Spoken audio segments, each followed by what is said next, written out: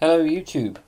In the previous video we saw a number of problems and as something of an important historical note, which also sets the scene for Russell's solution to those problems, I thought we could consider two earlier solutions. These are the solutions by Gottlob Frege and Alexius Meinong. So let's remind ourselves of the problems. Well firstly there was the puzzle about identity.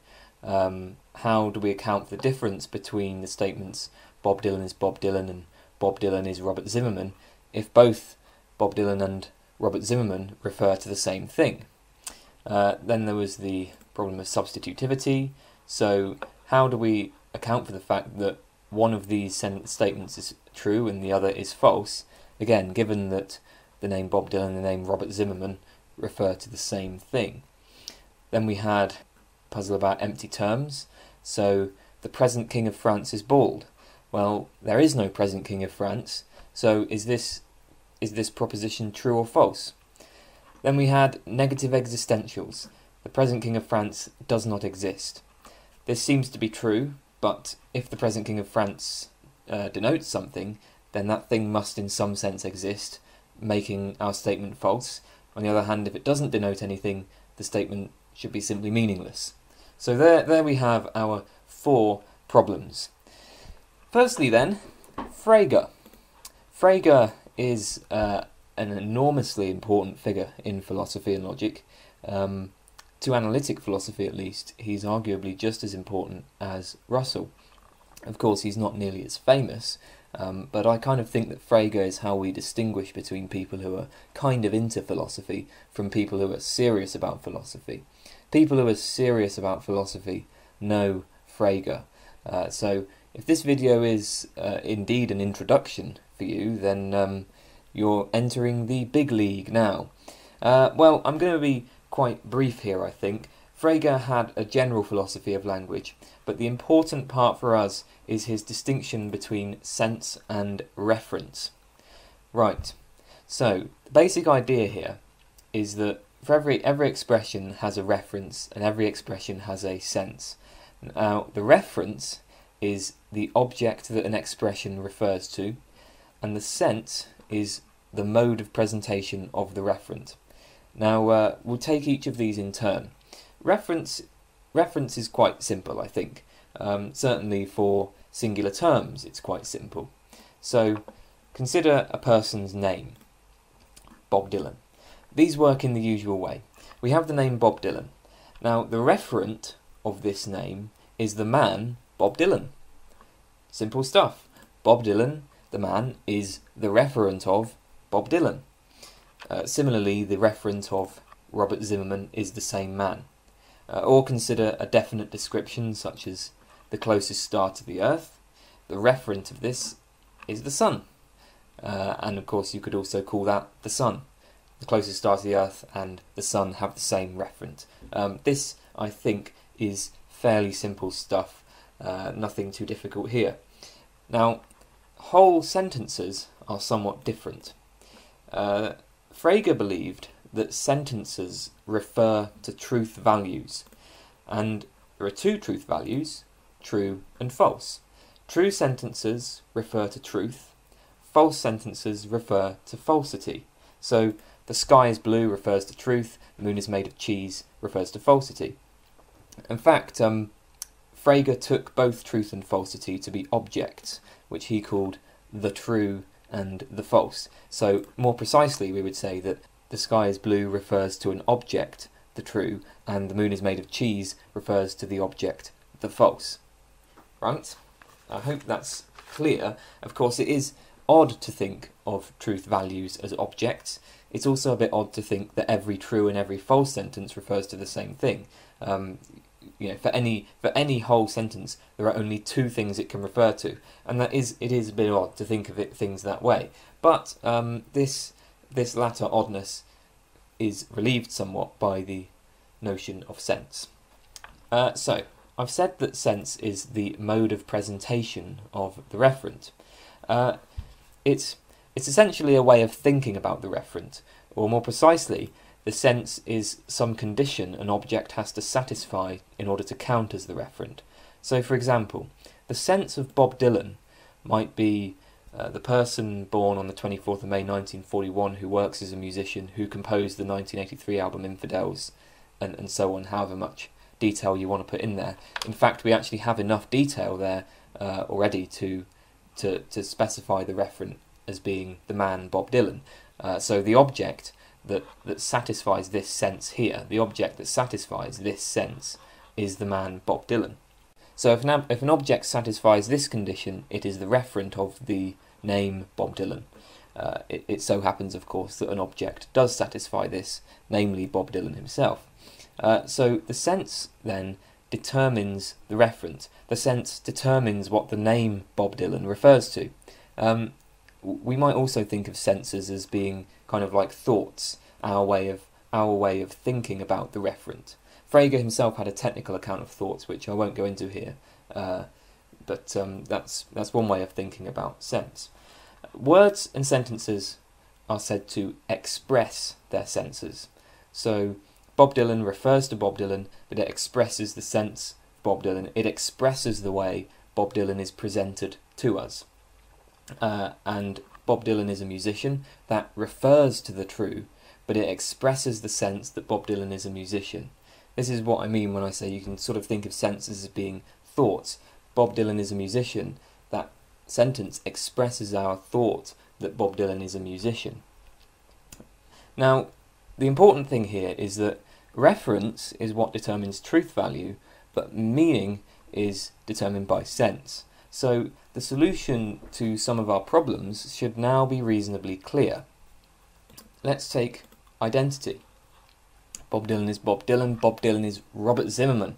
Well, for Frege, if we're dealing with the truth of these propositions, they're equivalent. They, they each have the same referent. Each sentence has the same referent, and of course the names in both of these sentences have the same referent too.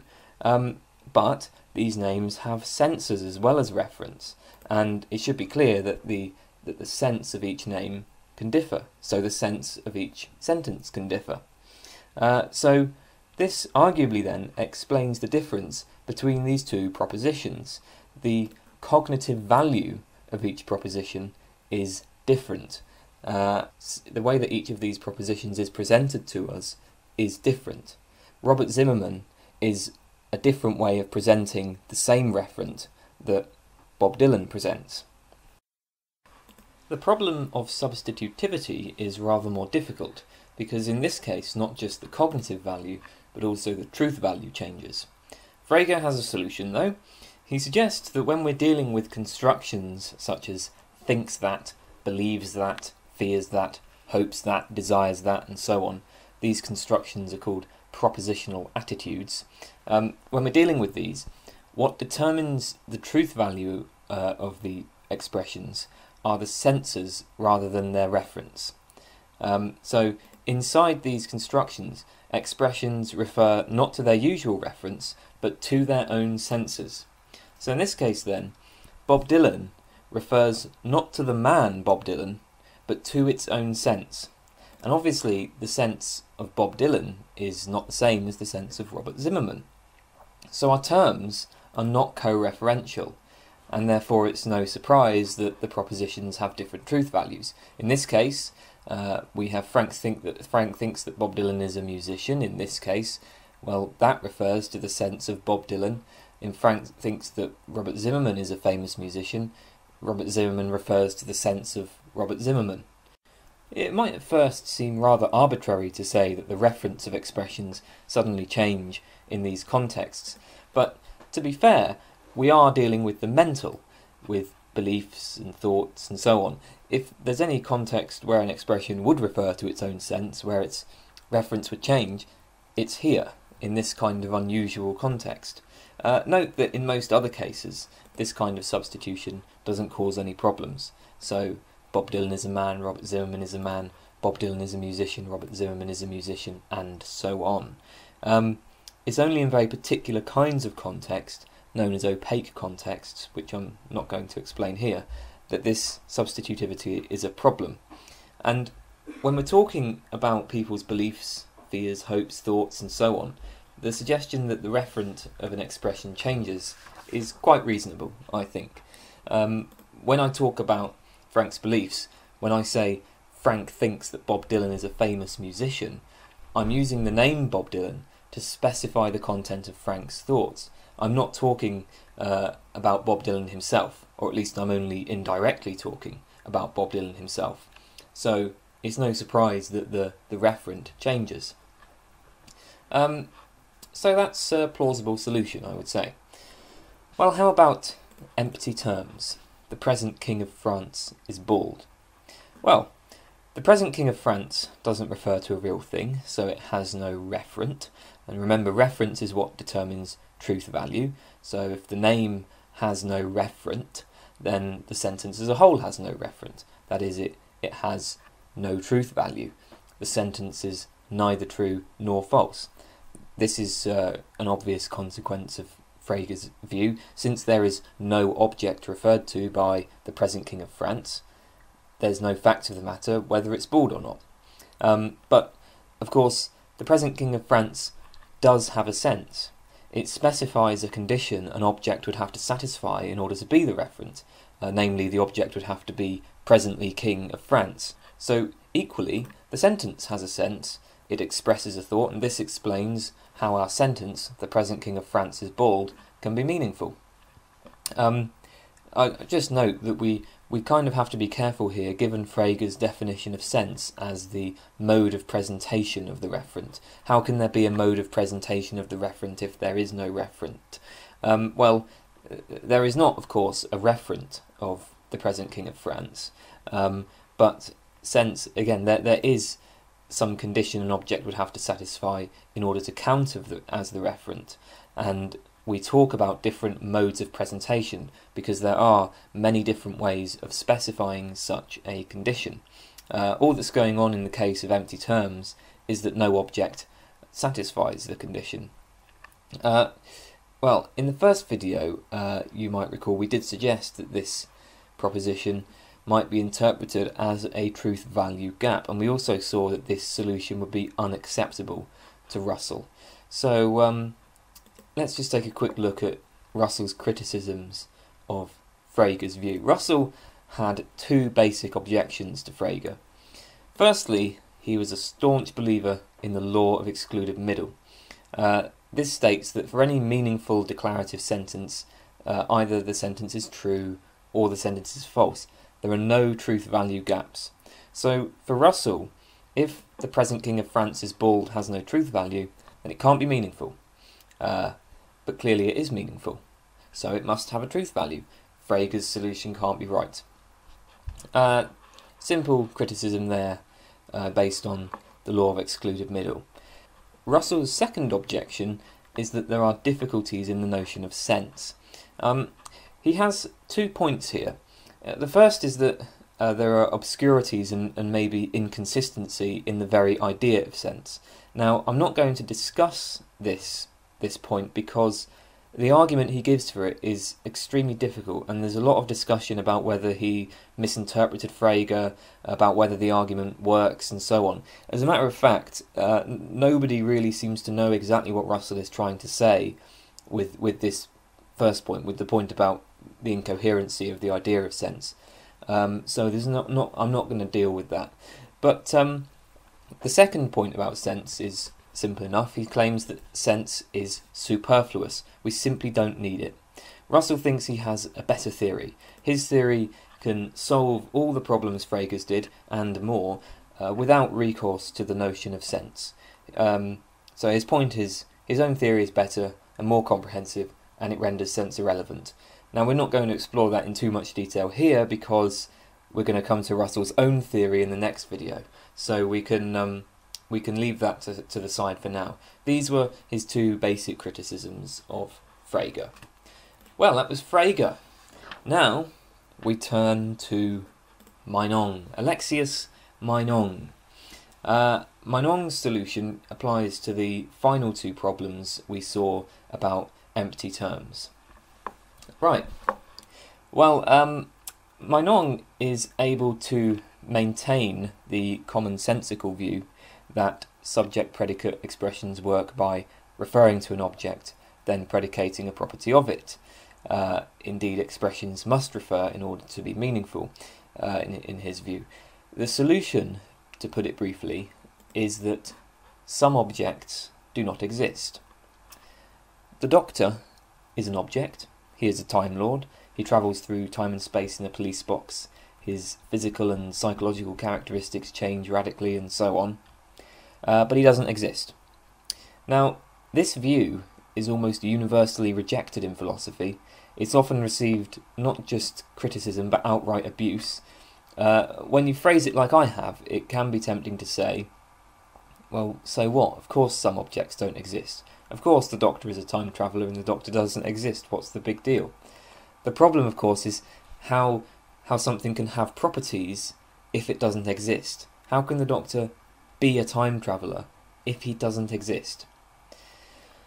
Um, so, let's look at Meinong's ontology more closely, and then we'll see how it applies to the problems. It was a fairly unusual ontology. Uh, basically, Meinong holds that for, for any object, there are three ways it can be. There are three ways it, it might be classified. So the first and most familiar is existence.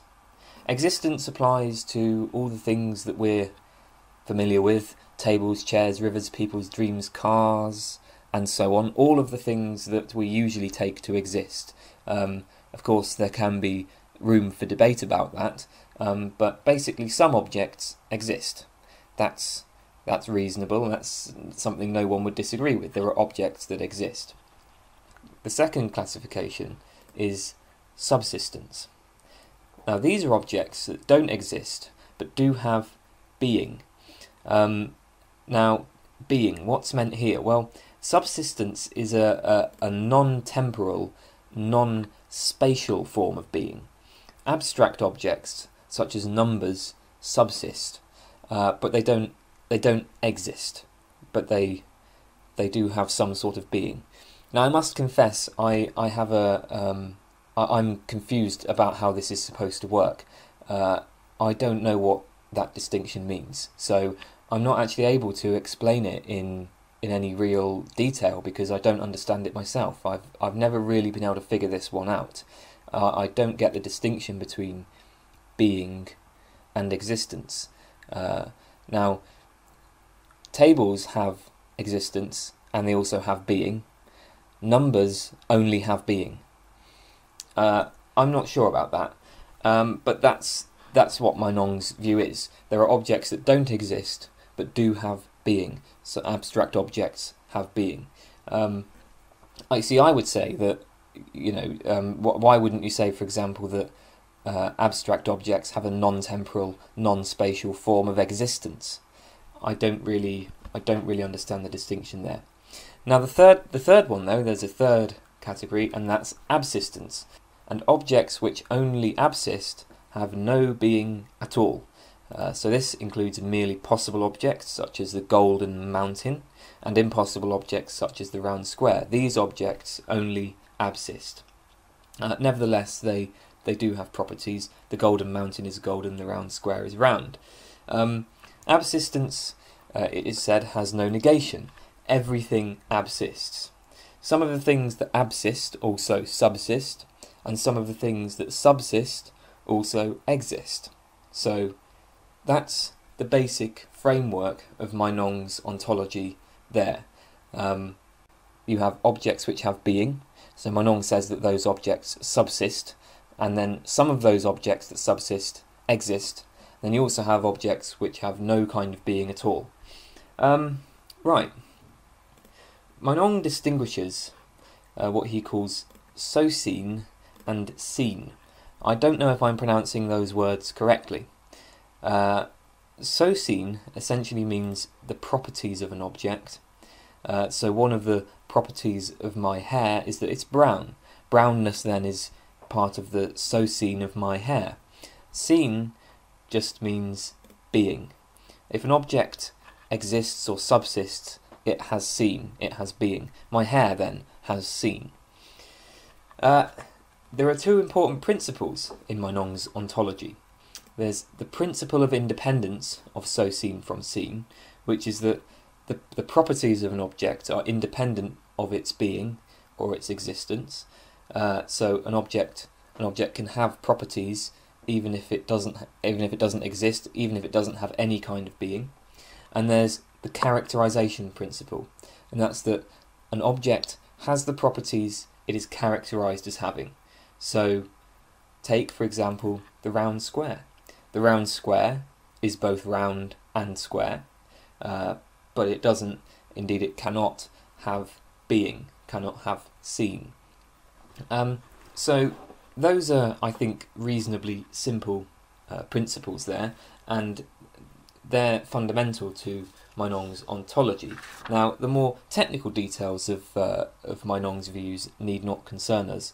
The point is just that Meinong takes existence, or he takes being, to be a property. So, just as an object can have or fail to have the property of redness, so it can have or fail to have the property of existence.